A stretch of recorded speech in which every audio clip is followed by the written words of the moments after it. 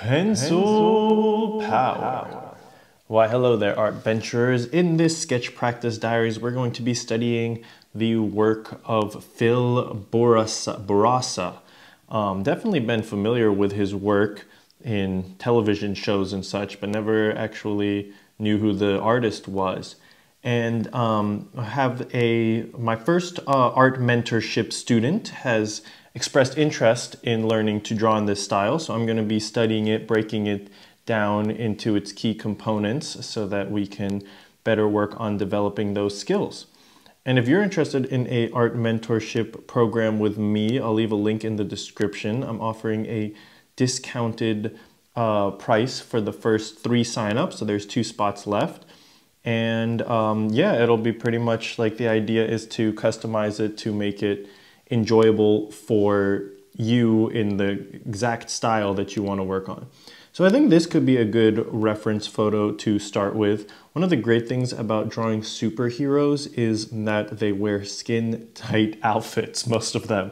So you can really get to work on your anatomy. Um, so the, one of the first things is I'll just start to lay down, lay down a structure.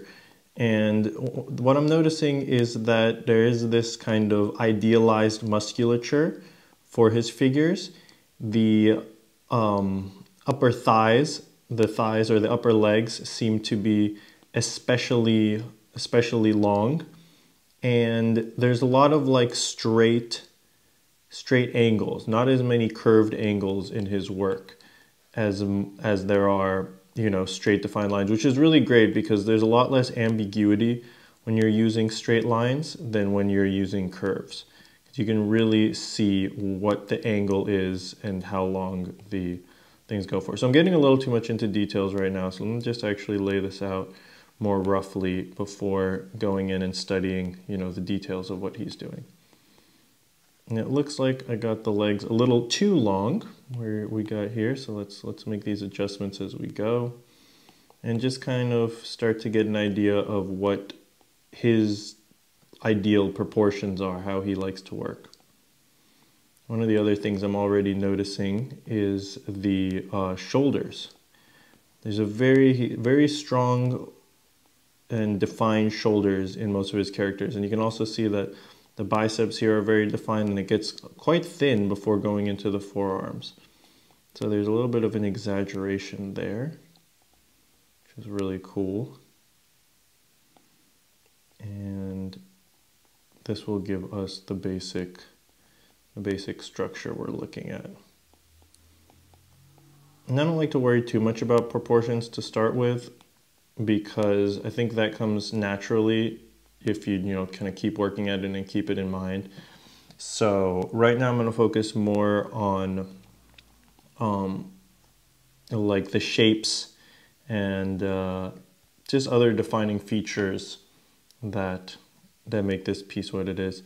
So, but I am going to to keep a general eye on proportions because I don't want things to be way off. So I'm going to make some adjustments here and then we will leave it at that. Cool. And as with all sketch practice diaries, I strongly encourage you to sketch along and explore this piece with me yourself. All right, great. That should work for now. I still can see that the legs are actually too short now. So actually, you know what, let's, let's go ahead and turn this like that. Give him a little more room.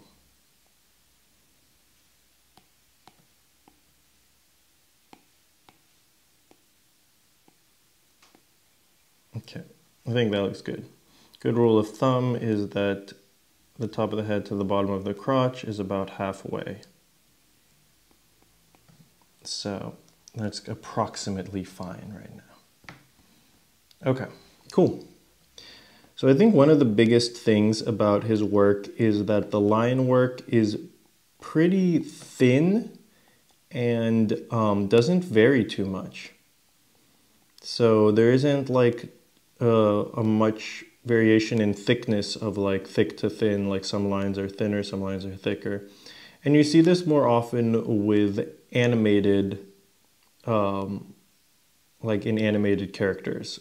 with uh, TV animation because keeping the line work consistent as far as thickness makes the whole thing a lot more consistent. While if you vary the thicknesses, it's one more thing that you've got to keep in mind and make sure that everyone is on board with, you know, frame by frame.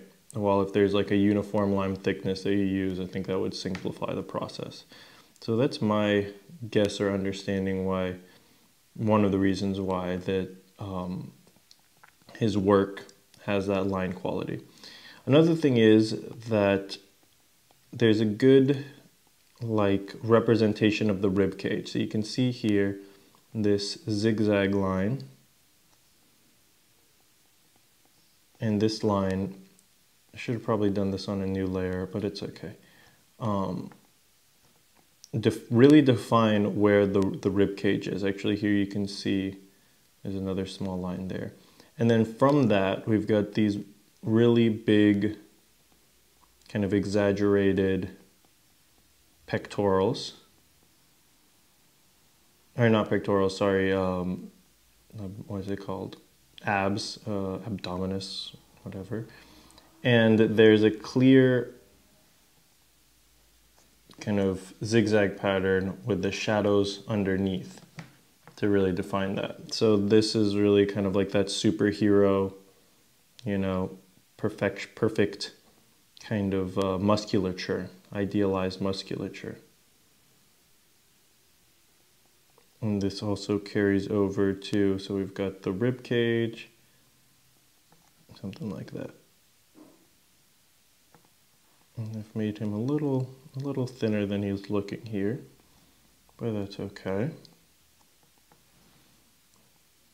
So another big thing about this kind of this style art is that the shadows have very sharp edges. It's this cel shading, as they call it, where there's there isn't really any um, I think this is also from an animation term, but there isn't like a like soft edge on any of the shadows or the highlights. You can see that there's a clear kind of shape and it's either shadow or not shadow, highlight or not highlight. There's no kind of in-between gradient that happens at any point. So I think that's going to be another defining feature of the style and there's a great way to do that using digital, digital painting. Cool. I don't really want to over, you know, overdo a single study. I want to look at a few different, different images to, uh, to get a generalized idea because you might do something different in one image or I might notice something different in another. So I'm not going to work on this too much more. I'm just kind of going to and then go through like the legs should have been a little bit wider stance here. It's okay. And then um, very thin ankles it looks like. And this one's got some cool some cool shoes. Aquaman's got some cool shoes over here. Let's just kind of indicate this belt. And it's interesting because, so another thing that I'm noticing is that the the quadriceps, there's something interesting going on here with the quadriceps. I haven't quite nailed it, so maybe on the next next one, but there's a particular particular shape and style that I think is distinctive. And the feet are pretty pretty simple, just one tone and a good good simple shape. Okay, cool. I think that this is going to be fine for now. I'm not going to study the faces too much just yet because I don't want to get into that kind of detail. And this one actually is zoomed out too much. I think the, the faces will be be a secondary study because you know I like to to keep things more more compartmentalized. So if I'm working on figuring out, you know, how he does the superhero bodies and anatomies, that's what I'll focus on. And then on another time, I'll focus on how he does the features of the face, for instance. Um, it helps me make sure that I'm that I'm, you know, really learning the thing that I want to learn before moving on to something else. Because I find that if there's too many points of focus, then there is usually a lot less progress. And often just, you know, focusing on one point actually helps the other one. So, you know, drawing the bodies will give me an idea of how how I would want how he does faces as well, based on things like the line work, etc. Okay. So this is fine for a study. Let me look at it, actually the hands real quick, because that's going to be a, you know, I'm not seeing too anything like super different in the way he does hands from this shot. There's a little bit of like, there definitely has his own style, but maybe a little more angular, but nothing too, too extreme. Oops. Okay, cool. So let's leave it at that and look at another reference. I really like, there was a great Superman one. Oh, here it is. Um, yeah, this will work. There was another one that I liked a little more, but this is a more neutral pose. So let's go ahead and make a new layer and kind of see what's happening here that, that we can learn from. So I do think there's kind of like a boxy shape with the heads and then these pretty thick necks and big trapeziuses. And then there's definitely like this, you know, that kind of whole thing with the pecs, with the, um, what's it called, abdomen. And there is that like like I said this kind of sharp sharp angles. Like you can see he does the legs the same way here so that's like a kind of repeating repeatable pattern that you can memorize and use for a lot of poses. So that's something that can be helpful. Um, they definitely like to to understand what's going on in the form underneath. When you're first starting out sometimes just memorizing the shapes and then figuring it out later as you're drawing it or further down the line in your studies can be a great way to just start, you know, producing art and drawing characters that you're you're excited and happy about. This one definitely has he's got something going on with the hands. It's hard really to to identify exactly what it is, but it's like almost like slightly sharper or more exaggerated angles Same here with the forearms. Okay, triceps. Okay. So that should be fine for like a basic basic outline. So um, this time I'll go on a new layer and I'll actually lower the opacity and try using like a more um, like an inking type brush. What would be a good inking brush? Inking, let's say try the technical pen even though the inking would should come later. You know, I should put a little more detail down here before I would, would ink it if this was like a final piece. But I want to start to get a little more deliberate about what the angles and, and shapes he's using is. So I'm going to, you know, force myself to use a less sketchy brush because that will kind of force me to be a little more deliberate about the lines I'm putting down and I'm kind of including the shading with with the line work. Now I've got to admit that um, inking is not my strength, something I haven't put too much time into developing.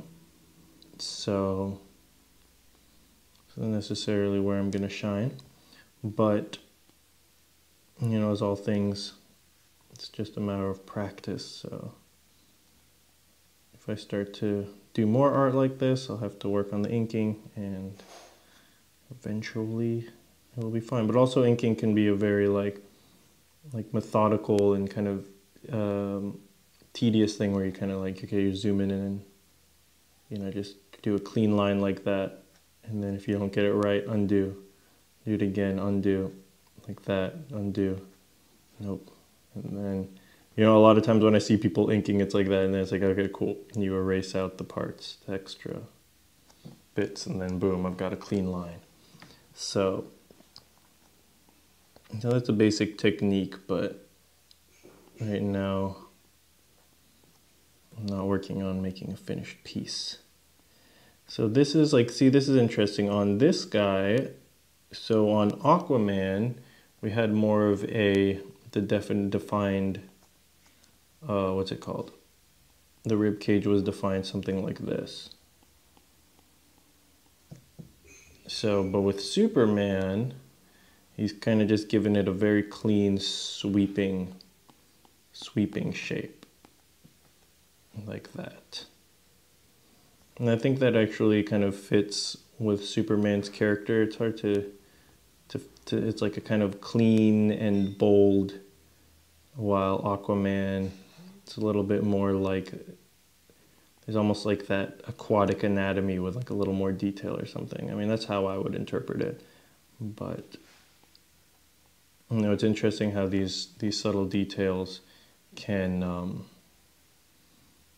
can like because they have basically the same body type, like just a very muscular, you know, superhero body type, right? So within that, how do you give enough difference? to let them each be their unique characters. And I think it's just those subtle kind of details that do that. So when I'm looking here, I'm really checking out like what are the angles for each of these parts. And you can see there's lots of lots of straight lines, lots of angles to to to check out.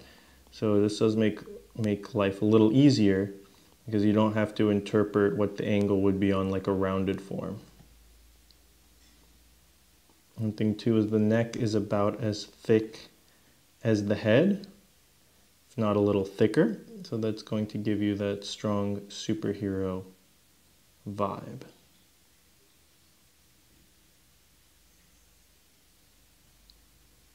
Okay. And this isn't looking perfect, but good for a study. I'm happy with kind of what I'm learning from this. And I think after that, I'll do like my own kind of quick sketch in his style. And of course, I'll, I'll study this a little, some more, more on my own. But keep this video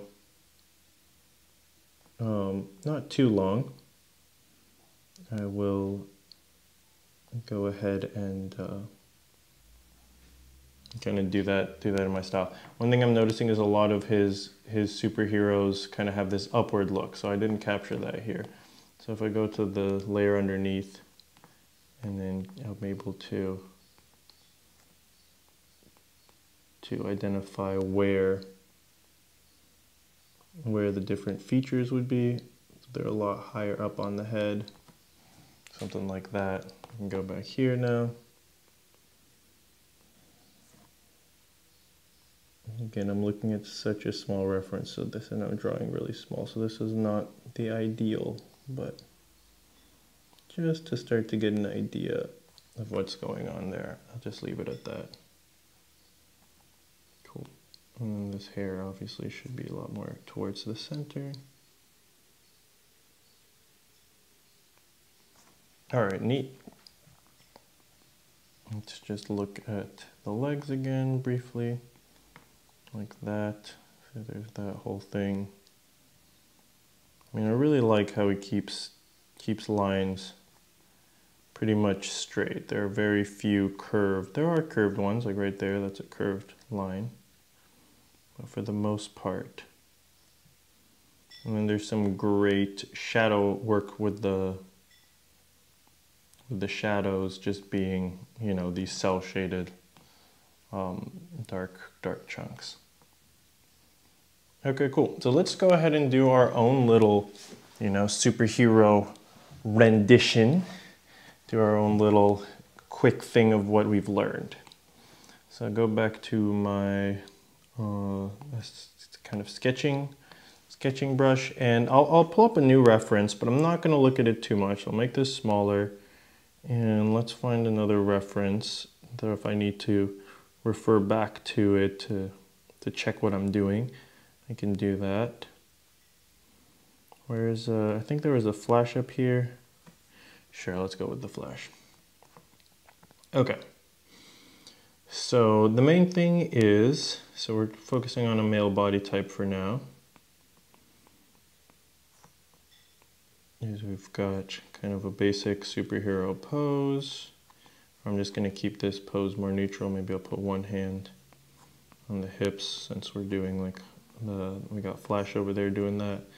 You know, uh, stance a little bit wide. It's gonna feel a little more, more powerful and heroic. Okay, and that's gonna give me the basic, basic outline form. I'm gonna want the neck to be quite thick. And we'll have the head looking up a bit, like that maybe. And one of the things is the shoulders are quite large and defined usually, and so is the pec pectoralis. And then the other one is the rib cage. The rib cage will be pretty strongly defined as I mean all the muscles will be and the um, abs, which for some reason I'm having trouble remembering the name of, which is weird today, will be pretty, you know, well defined as well. They'll be able to see. You can see there's he doesn't have the full six pack. They've got four, four of them going on there. You can see the ribs here are done more like Aquaman versus a Superman one. So that's a little interesting note.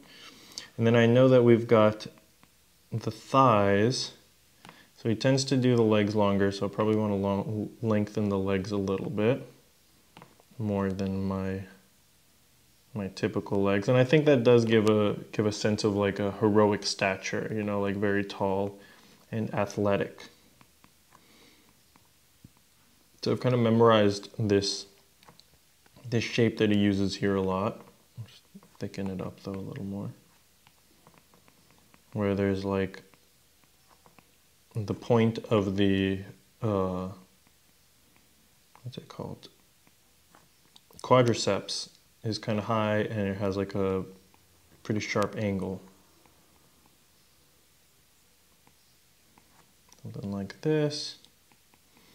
And then I can start also getting creative what what do I want this pretty thin ankles this one not as much so on uh, on the flash over here but I think in general, you know, the ankles are, are getting pretty thin. And then there's a like, they kind of like catch the foot. Like they've got, you know, you can almost think of it like that shape and then the foot comes out.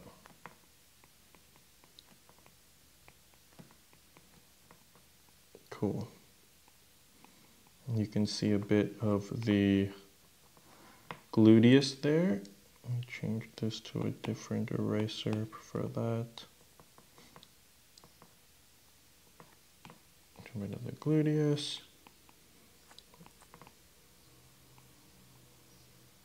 And that's looking all right.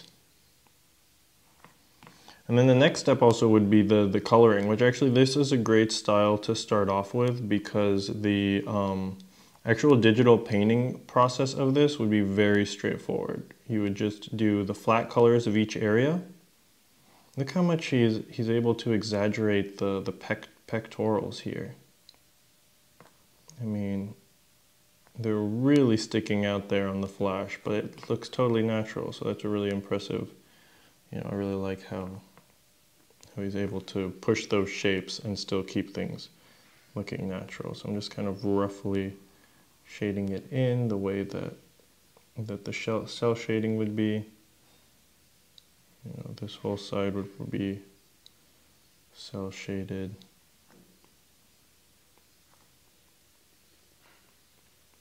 And then our superhero should have some kind of emblem in the center. So I'll put a diamond there. For now as a placeholder sharp shoulders, no big traps, I really want these shoulders. The shoulder and chest area I feel like is one of the most iconic for um, for Phil Bosa?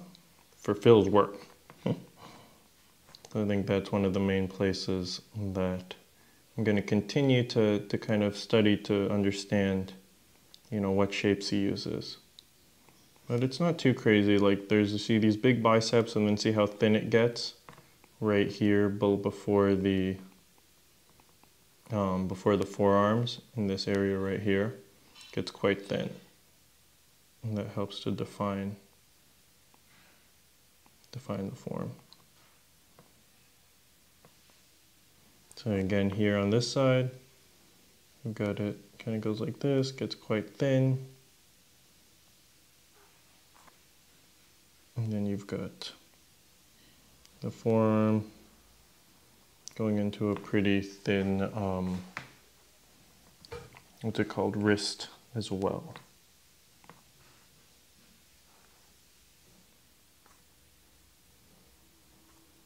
Should the arm be further out? Feels like this should be a little further out. Yeah, I think long limbs in general is kind of like a trademark of this style. Not like excessively long, but like erring on the longer side. Again, I think that um, accentuates these heroic proportions. And see, this isn't a round shape, it's got an angle there. So wherever think pretty much wherever you can make something have an angle to do that instead of to go for the round. Right. Cool. And then finally,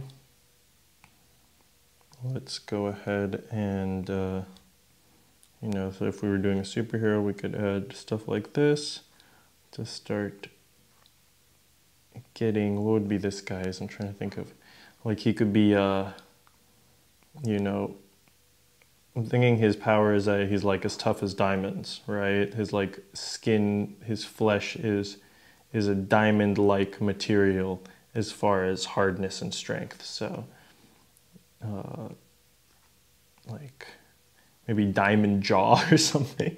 So let's give him a strong jawline that's sharp enough to cut diamonds. Okay. And then he's like smiling.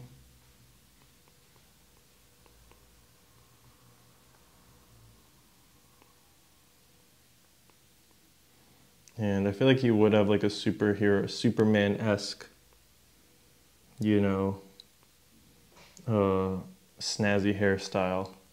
So maybe instead of the curl being down, it's just gonna be on top. You know, this isn't, this isn't like a character designing what's it called uh, video so i'm not gonna over overthink it i'm just gonna kind of have fun and uh, see what kind of character we come up with.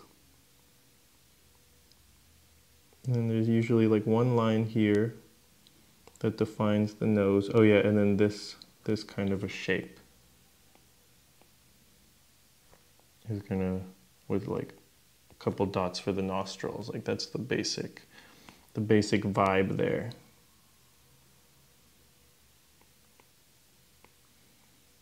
Which honestly, that looks pretty cool.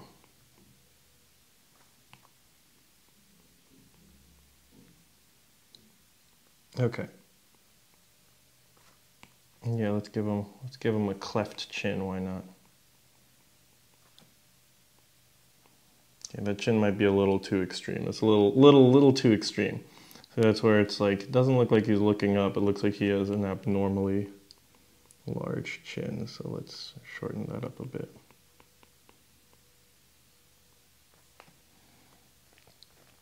All right, this is not exactly right on the face, but again, I don't want to overdo the face because that's not actually what I was studying. So I'm not going to, to fret about it too much. Um, though it's bothering me, so I'm just gonna, I'm gonna take out the eyes because that's kind of the trickiest part there. Actually looks better without the eyes. Now I would need a thinner, um, a, th a thinner, you know, a sharper, sharper brush to, to go ahead and do that. So I'll do a quick, quick draw over with the, with the technical pen, and this time I'll try not to make things too sketchy, but I also won't, you know, over, overdo it as far as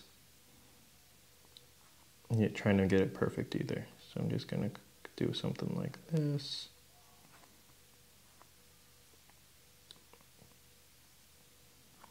And as I'm doing it, I'm looking over and seeing if there's anything I notice that I want to emulate or learn from as I'm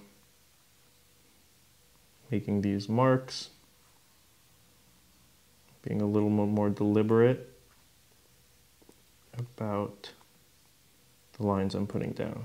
So it's like a different kind of in, in, in or evoking you know, challenging my mind in different ways. So see, it's interesting. There's no, there's no line under here. That's just defined by the shadow, but there is a line here underneath the pectoral. And this line actually doesn't connect. It's a little bit higher. So actually I want to drop this down. Okay. And then something like that.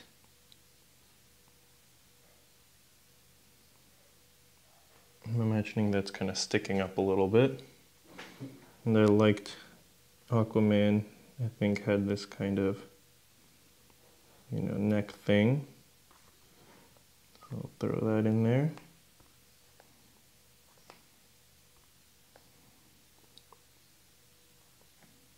I'm wondering if that's actually too small. No, I think that's fine. Anyways, it's not going to be perfect, but it's about learning. This is a practice. This is my sketch practice diaries. So when you're doing your sketch practicing, that is the time to play around and not fret or stress about how things are looking. Because it's just going to constrain constrain you, you know, make the process less less enjoyable. It's going to make you practice less. So I'm just kind of having fun with it at this point. Again, coming back to the biceps, making it smaller there. And then I'll actually, maybe I'll stop here. I won't do the legs and instead go into the coloring digital painting portion. Because I think that's would be another valuable thing that I want to be able to help um, my client with because he's also working in Procreate. And so you know, I want to have that process down, though I already know how I would go about it. But this is a further, further helpful resource for him and for you guys to be working on it. So actually there's no line work there. That's going to be all part of the shading. And uh, maybe I'll make his belt like this, and then I'll leave it at that. All right. Let's just leave it right there. Because I don't want this to go too, too in depth. Cool. So the way we would take it from here is start off with coloring in the flats. Actually, I just wanted to so he's got the trapezius. So this actually should be a little more over here. So normally I wouldn't, this one actually is a round one, rounded as opposed to. So normally I wouldn't, you know, do the do the line work this quickly if I was planning to to color it. I would be a little more deliberate and take my time. But yeah, I think for now this is going to work out just fine. So we can get rid of our bottom, bottom sketch. and um, we can start to shade block in the major shapes. So one way to do that would just be, let's make a layer underneath and choose a cool color. So maybe he's like, you know, this yellow color, let's just go with that. So you can just go ahead and start shading it in like this. Or the other option, which can be really clean and kind of satisfying, is to take the lasso tool and carefully outline the area you want. You know, and you can do it in little sections and then just boom, fill it in. And then these little parts right here. So deselect it. Gonna fix that. So I'm gonna do the lasso tool version. I think that's going to be a little faster and more satisfying. Again, I'm doing this quite fast. Not really taking too much time to, to worry about the details because I want to give an idea of this process without, you know, taking all the little detail time it, needs to get these things just right. Okay, so that'll give us this part. Why can't I? Oh, is there a little mark there? Okay. And then we'll choose a skin tone.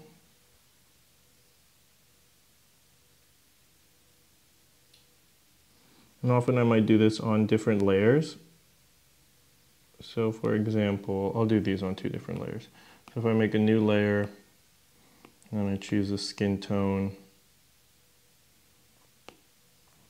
maybe this guy has like a tan skin tone, that'd be kind of interesting.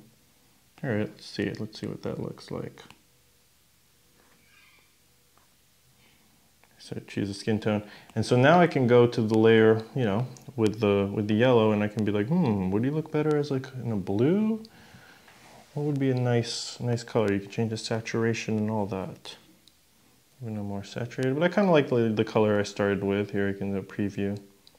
You know, I kind of like the color I started with, so I'm gonna leave it at that for now and I'm going to, so here at this point, we don't need to do any like gradient and stuff. We need to just find the main shadow shapes and, and work on those. So I'm gonna go to the head and I'm actually gonna combine these because I want them to be on one layer so I can create a clipping mask.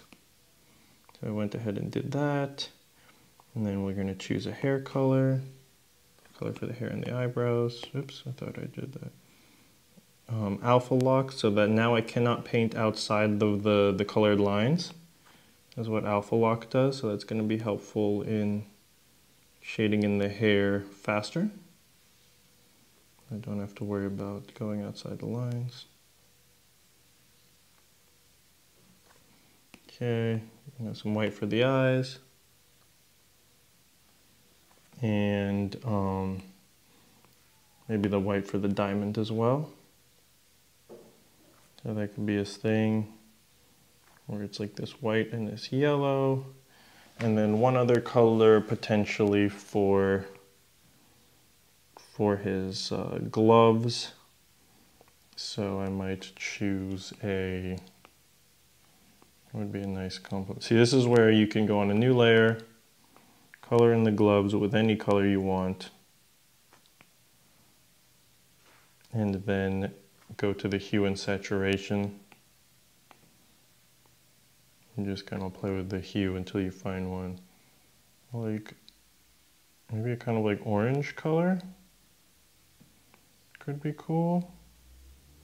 Yeah so let's do that. That's fine. You know and I probably wouldn't pitch this guy to Warner Brothers but for a, ran, a random one-off, you know, quick, just make him up on the fly type guy, he'll do just fine. All right.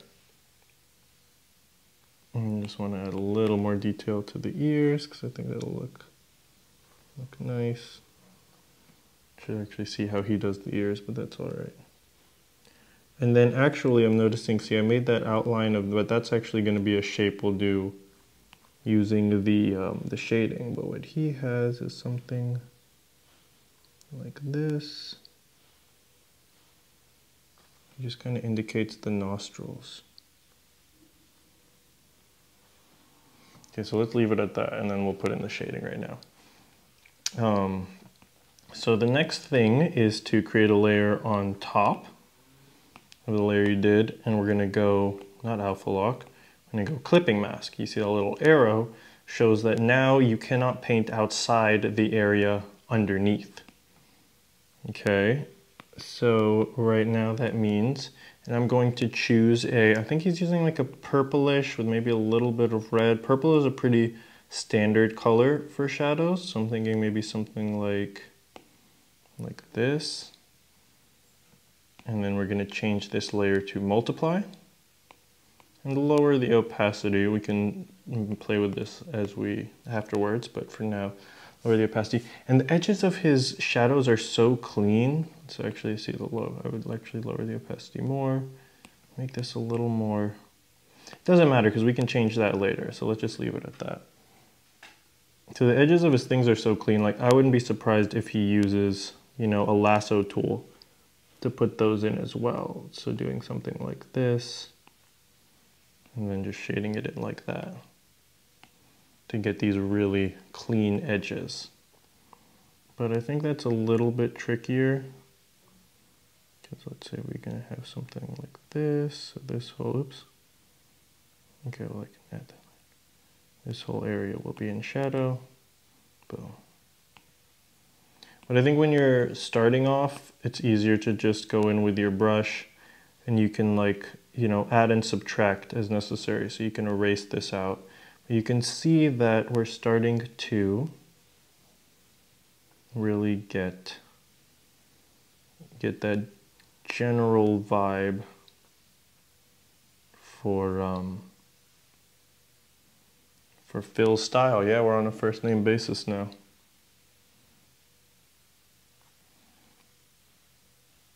So this is a great start, you know, for for learning this. And then see, I can erase to get that sharper corner, sharper edge if I want to. So yeah, I'll finish up this and I should know like where my light source is coming from and all that, but this is a pretty like straightforward light source. I think that it'll be fine to just to just have the light coming from, you know, the top left general area. It's interesting and see on this on this piece, the left arm, like I would probably have put some shadow like here, for instance, but he's got the left arm completely unshadowed, except for when you get down to here. So I'm actually gonna try that. And I also notice that the forearm line doesn't come too much further out. So I'm gonna erase that back. And let's see, there's like a slight shadow here. So he's definitely not like overdoing it with the shadows. Okay, the big one here are these, these abdomen, these ab muscles, which have their own have a shape to them like that. And it comes down here. Cool. There isn't too much on this side.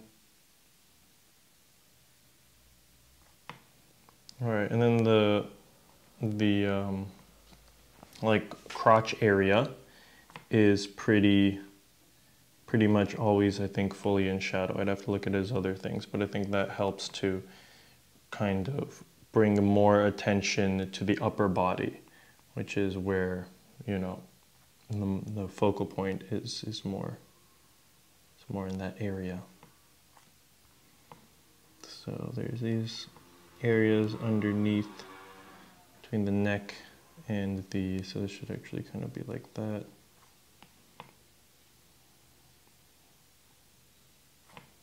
And again, not everything's adding up, matching up, but this is cool. This is working out so far. So I'm just gonna kind of go with it and finish it off. There's gonna be some shadow under the neck for sure. let's say more on this uh, right side of the face. And here is where we have that shape. See how it worked out? That brought the nose, made the nose much nicer. You know, by just including that shape we've identified. Cool. Yeah, this has been really fun. I really enjoy this style and I can definitely see myself uh, having more having more fun. I can tell now that I'm zooming in that he uses actually much thinner line work than I do. Let me clean up the hair a little bit. Um, than I did here. So that would be one one adjustment I would make in, in future ones. I think the thinner line work even takes a little more precision, but I'm not sure. So, so uh, something to experiment with. Okay, and then the last step would be to add the highlights. Okay, so we've added the shadows and then we can go in, you know, I'm doing it pretty quickly so it's, it's, uh, it's pretty rough, but um, you know, we can go into the, to the opacity and lighten or darken it as we see fit to get it looking the way we'd like. We can also go into the hue, saturation, and brightness and like Ooh, like see, I think increasing the saturation is actually nice. Maybe, yeah, moving it a little more towards the red. So I think if we look at before and after, this with the red really feels like it's, it's, it has more of the feel that I would personally go for. Um, I don't think there's necessarily like a right or wrong answer, but now I would need to, need to go like this put it back to normal and sample this color to get the right right color and go back to the opacity and lower it. And now I've got the right color again if I want to add stuff. Cool. So I'll leave it at that for now. And then we'll add the highlights is going to be the last step. So for the highlights, you could add a secondary layer and put it on something like you know, play around with it, but go like hard light or lighter color or overlay. Find color of the light source, so maybe like a yellow, a, you know, pretty bright like yellow, and then coming in here and adding the shines. Shine. So I'm seeing that for this one, he's got like a shiny piece that kind of like almost comes down like that. So there's a shiny bit like that. And then it comes in here and kind of follows the, the abs down. And obviously this is super rough, so I'd have to come in here, just clean it up so it's not overlapping and make them prettier shapes. All right, I worked on it a little more and this is the, the results. His name is Guy Diamond. And uh, he's a superhero. Got a whole origin story and everything, but before I'll, I'll, share a little bit about that. But some of the things I did differently that I noticed um, is in keeping with the style we're going for is I desaturated and darkened the shadows a bit and also darkened the costume a little bit. I noticed that he tends to have darker colored costumes um, with his characters. And then like adding little details like this orange line on the pants and uh, upper body adds a, a, a certain um, appeal. And you can tell like there's, this would have to be cleaned up a lot. I noticed that the lines needed to be thinner even. So in the legs, I used this very thin line weight and I tried to thin it up on the upper body a little bit as well. And then just clean things up a little bit. So yeah, his name is Guy Diamond and his superpower, so he was a, um, a amateur bodybuilder and martial artist who worked as a pizza delivery boy and he goes or delivery guy and he goes and delivers pizzas to these scientists who are reverse engineering some alien technology and uh, they have just kind of had a breakthrough or something they're drunk though when they order the pizzas and something goes wrong and uh, he gets hit by you know this alien technology that makes his tissues extremely dense, like that of a diamond. And so he's like impervious to, to most damage, maybe like diamond-headed bullets could could pierce his flesh, but like nothing short of that. Um, and that's his only real superpower, but also gives him some super strength because you know his muscles are a lot uh, are made of this advanced tissue. And uh, yeah, his real name is Guy Jackson, but goes by Guy Diamond as his uh, superhero name. So that's what my wife and I came up with. Right on. So I hope that this was helpful. And uh, if there's a certain uh, style you'd like to see me do a breakdown like this of, let me know in the comments. Otherwise, I hope this video has left you with just a little bit more pencil, pencil power. power. I should draw the pencil power superhero.